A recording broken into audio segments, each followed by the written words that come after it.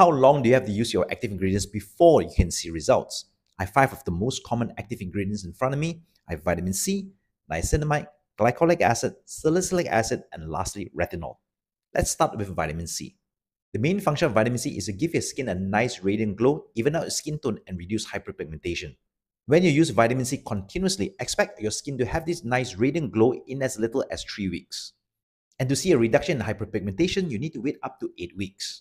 As for niacinamide, its main function is anti-inflammatory, reduce the amount of sebum on your skin, reduce the amount of redness on your skin. In as little as 2 weeks, you'll notice that your skin is less oily.